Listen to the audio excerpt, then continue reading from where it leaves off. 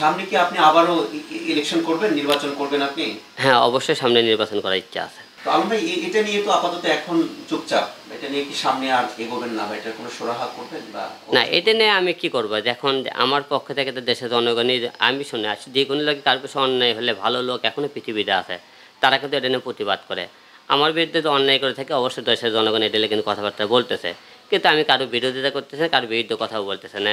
আমি যদি কোনো অন্যায় করে থাকি আমার অবশ্যই শাস্তি হবে। আমি তো অন্যায় করে না থাকি যে আমার কিছুই হবে না। যেহেতু উপরে আল্লাহ আমার এখন পর্যন্ত মাথার উপর আছে। আমি সবসময় আল্লাহর উপর নির্ভর করি।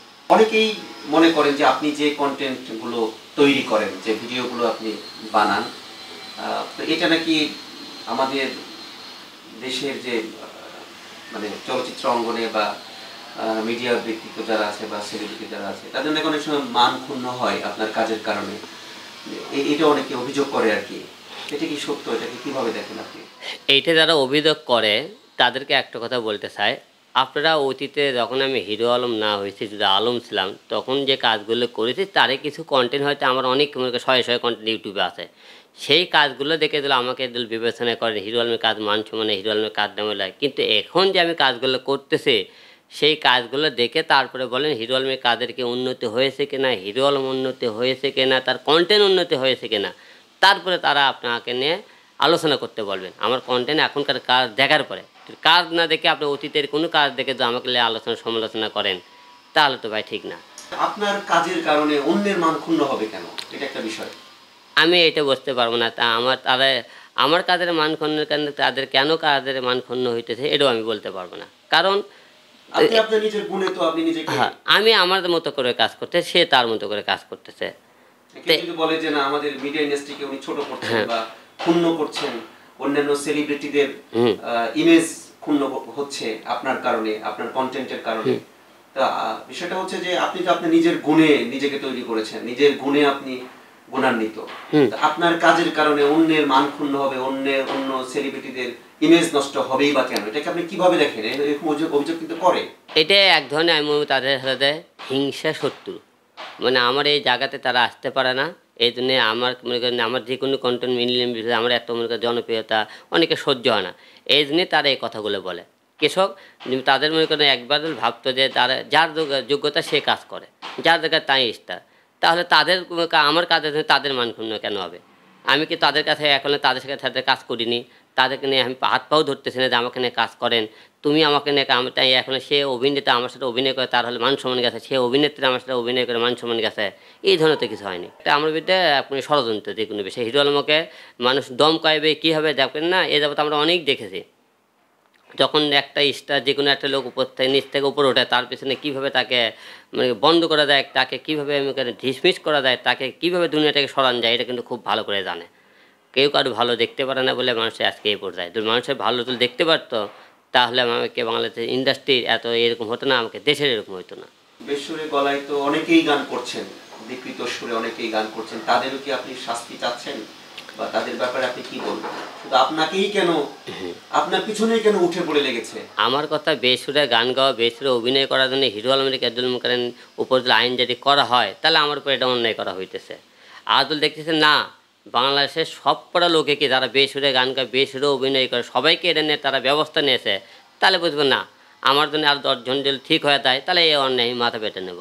আর আর শুধু আমার উপর দিয়ে অন্যায় করা হয়, তাহলে জীবনে আমি মাথা পেটে নেব না। তখন বলব তারা এটা আমার উপরে অত্যাচার, জুলুম করতেছে, আমাকে দমকানোর চেষ্টা করতেছে এই বিষয়টা। এখন আপনি যে পুলিশের এগেনস্টে যে অভিযোগটা করছেন যে হিরো নামটাই চেঞ্জ করে ফেলতে হবে, বা বিভিন্ন মিডিয়াতে আপনি সাক্ষাৎকার দিচ্ছেন, কথা বলছেন, তো এই এই বিষয়গুলো যদি আবার প্রশাসন দেখে, পরবর্তীতে যদি আপনাকে আবারও তারা কোয়ারি করে বা জিজ্ঞাসাবাদের জন্য নিয়ে যায়, তখন আপনি কি করবেন? না, কিছুই করার নাই। পুলিশের উপর তো আমাকে কোনো হাত নাই। আমি যদি অন্যায় করি, তারা শাস্তি দেবে। আর তারা আমার সাথে যে ব্যবহার করছে, আমি সত্য কথা বলেছি। সত্য কথা বলার জন্য তারা তো আমাকে নিজেকে মেরে ফেলে দেবে, জেল খাটাবে, করুক, সমস্যা নাই তো। আমি তো চোর না, ডাকাত না, আমি একদম রাজাকার না, অথবা আমি মনে করেন কোনো সন্ত্রাসী না, কি কালোবাজারি না, যে আমাকে নিয়ে গেলে আমি জীবনা জেলখান থেকে বেরো আসতে পারব না। আপনারা আমাকে নিয়ে যারা সমালোচনা করতেছেন, আমার কাজ নিয়ে, আমার গান নিয়ে, অতীতের অনেক কিছু আপনারা দেখেছেন, ইদানিং যে কাজগুলো করেছি আমি, সেই কাজগুলো দেখবেন, তারপরে আমাকে নিয়ে সমালোচনা করবেন। আর একটা বিষয়, আপনাকে অসংখ্য ধন্যবাদ, আমি গত দুই দিন ধরে একটা বিষয় দেখতেছি, সবাই বলে হিরো আলমের পক্ষে কোনো লোক নেই হিরো আলম কেউ ভালোবাসেন সবাই মনে করে কিন্তু গত দুই দিনে যে গবেষক, যে লেখক বড় বড় রাজনীতিবিদ আমাকে নিয়ে যে স্ট্যাটাসগুলো দেখেছেন, তাতে বোঝা যায় যে হিরো আলমক পাবলিক কতটা ভালোবাসে। আমি আমার জনপ্রিয়তাটা কত দূর। তার ভালো না বাসলে তার আমার জনপ্রিয়তা না থাকলে তারা কিন্তু আমাকে নিয়ে স্ট্যাটাস দিত না, আমাকে নিয়ে বাজে মন্তব্য করতো। তাতেই বোঝা যায় হিরো আলমের ভালোবাসা কত দূর। তাতে ভালোবাসা পেয়ে আমি অত্যন্ত ধন্য যে তারা আমাকে যে সেই ভালোবাসা দিয়েছে। এই ভালোবাসা ভালোবাসাটাতে ধরে রাখতে পারে, সামনে তাদেরকে মুখ উজ্জ্বল করে রাখার জন্য ভালো আরও কাজ নিয়ে আমি হিরো আলম আপনার সামনে আসব। সেই পর্যন্ত আপনারা সবাই আমার পাশে থাকবেন। দোয়া রাখবেন। আমি আপনাদের ভালোবাসেন সামনে ভালো আরও কিছু করতে চাই। সবাইকে ধন্যবাদ। সমালোচকদের উদ্দেশ্যে আপনি কি বলবেন? এক। আরেকটা বিষয় হচ্ছে বিপদে পড়লে আসলে অনেক সময় কাউকেই পাশে পাওয়া যায় না। এটা সাংবাদিকদের ক্ষেত্রেও অনেক অনেক ক্ষেত্রে হয়। আর সমালোচকদের উদ্দেশ্যে আপনি সর্বশেষ কোন বার্তাটা দিবেন? সমালোচনার উদ্দেশ্যে একটা কথা বলতে চাই। যে কোনো লোক খারাপ হলে তাকে ভালো করার সুযোগ করে দায়িত্ব কিন্তু আপনাদের।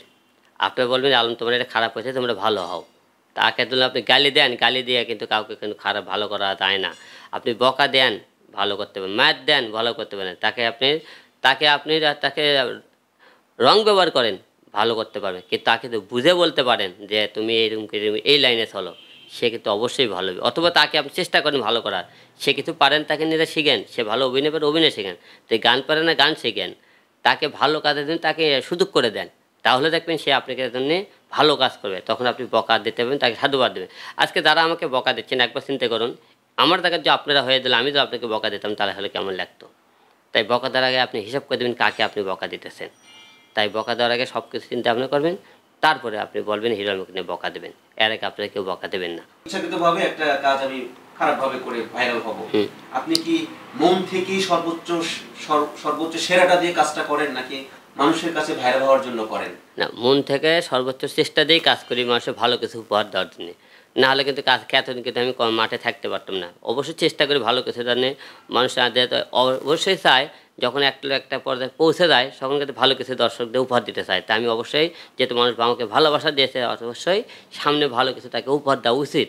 তাই আমি ভালো কাজ সর্বোচ্চ দেওয়ার চেষ্টা করি। কিন্তু এরই মধ্যে নিজের যেহেতু একা ডিরেক্টর প্রডিউসার সব কিছু ইনভেস্ট করে করা আমার তো যতদূর সমর্থন হয় শততর মধ্যেই ভালো দেওয়ার চেষ্টা করি। কিন্তু আবার আমাকে নিয়ে কেউ যদি কিছু ভালো কিছু কাজ করতো তাহলে আর হয়তো ভালো কিছু উপহার দেওয়ার চেষ্টা ভালো করতাম। তার মানে আপনি মানুষকে দৃষ্টি আকর্ষণের জন্য বা ভাইরাল হওয়ার জন্য কাজগুলো করেন না? না, না। ইচ্ছাকৃতভাবে করে। ব্যবসায়িক পলিসি থেকে যে আমি ভাইরাল হলে তো বেশ ভালো টাকা আর্ন হবে।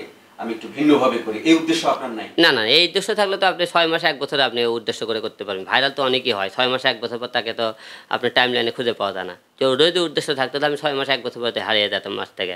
আমি তো আজকে আটটি বছর ধরে মাঠে আছি। দেখলাম আপনার নতুন একটি গান আপনি বের করেছেন গতকালকে। গানটি নিয়ে একটু বলবেন প্লিজ না। কেন এই গানটি আপনি লিখলেন কেন শুরু করলেন বা এই টাইমে আপনি এটা প্রচার করলেন?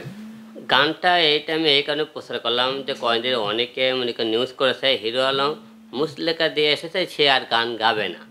কিন্তু আমি কি মুসলেখা দিয়েছি আমি নজরুল গীতি, পল্লী গীতি, এই ধরনের কোনো, কারোর বিরুদ্ধে আর কোনো গান গাবো না। কিন্তু আমি গান গাবো না, এই কথা কোনোদিন কিন্তু বড় আমি কাউকে কিন্তু বলি না, আমি আর গান কোনোদিন করব না। এই জন্য গানটা করলাম এবং আমার জীবনের যে ঘটনা, সত্য অবলম্বন, কিছু ঘটনা গানের মাধ্যমে একটু তুলে ধরলাম। যে মানুষ সরল মনটালে অনেকে আমার যে কোনো কাছে বাধা আর বাধায় আসে। এই জন্য আমার লেখা, আমার সুর করা, আমি এই গানটা এই জন্যে এই গানটা করেছি। আর গানটা অনেকে বলে আমি হিরো আলম সুরে গাইতে পারে না। এই যে গানটা গাওয়ার পরে দেখে দিলাম যে হিরো আলম সুরে গাইতে পারে কিনা। জেলখানার পোশাক পরেছেন এটা নিয়ে যদি আবার কোনো প্রবলেম হবে কিনা? না জেলখানার পোশাক পরেছে জেলখানার পোশাক পরে তো আমার তাদের প্রবলেম হয় তাহলে আরও যারা জেলখানায় যারা পোশাক পরে গান করে অভিনয় করে তাদের তো তাহলে তা সে সেও তো বন্ধ করা দরকার তাহলে। আমি তো এতে কোনো এখন জেলখানার পোশাকে যে কোনো অমর্যাদা করছি যে গানের সাথে মিল নাই কথার সাথে মিল নাই কেন আমি জেলখানায়? অবশ্যই যে গানের সাথে জেলখানার পোশাক যায় বলে কিন্তু আমরা জেলখানার পোশাকটা ব্যবহার করেছি। এই গানের মধ্য দিয়ে আপনি কি ফুটিয়ে তোলার চেষ্টা করেছেন গত কয়েকদিনের? গত কয়েকদিনের আমি আমার জীবনের এবং আমার মনের দুঃখ কিছুটা গানের মাধ্যমে তুলে ধরছি এবং অনেকে বলছে হিরো আলমার গান গাবে না। এই জন্য গানটা গাওয়ার চেষ্টা করছি আর অনেকে বলছে হিরো আলম সুরে ব্যাসুরে ব্যাসুরে গান গায়। অবশ্যই গানটা গাওয়ার পরে অনেকে বুঝতে পারছে আমি গানটা সুরে গেয়েছি কিনা ব্যাসুরে গেয়েছি। গানটা সবাই শুনবেন, শোনার পরে আমাকে নিয়ে মন্তব্য করবেন যে হিরো আলম গানটা সুরে গাইতে পারছে কি পারেনি? তারপরে আমাকে নিয়ে গানটা নিয়ে সবাই মন্তব্য করবে এটা আপনাদের কাছে অনুরোধ থাকল।